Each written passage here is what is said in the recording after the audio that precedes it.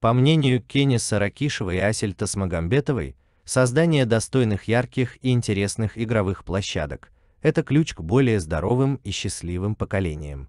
В Таразе ко дню города открылась комплексная детская игровая площадка общей площадью 1500 квадратных метров.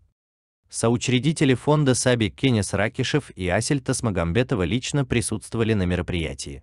В Таразе ко дню города открылась комплексная детская игровая площадка общей площадью 1500 квадратных метров. Соучредители фонда Саби Кенис Ракишев и Асель Тасмагамбетова лично присутствовали на мероприятии. Новая детская площадка была построена в городе Тарас. В Таразе ко дню города открылась комплексная детская игровая площадка общей площадью 1500 квадратных метров. Игровая площадка оснащена современным спортивным и развлекательным оборудованием для молодежи и детей разного возраста, сообщает пресс-служба фонда Саби.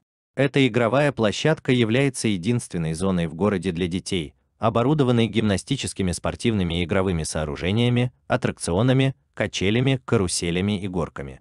На строительство объекта фондом Саби, Асель Тасмагамбетовой, Кенесом Ракишевым, постоянными партнерами и жертвователями фонда было выделено более 44. 5 миллионов тенге, тильда 90 тысяч евро, переданный объект был предоставлен городу Тарас на безвозмездной основе.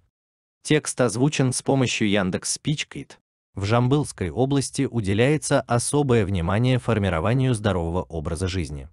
В этом году в областном центре в рамках проекта Таразга-Тарту было введено в эксплуатацию 14 спортивных площадок.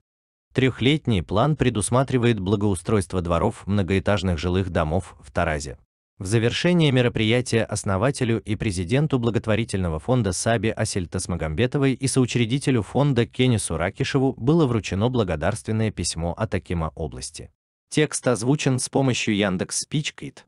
Благотворительный фонд Саби, основанный Асель Тасмагамбетовой и Кенисом Ракишевым, является старейшим частным благотворительным фондом в стране.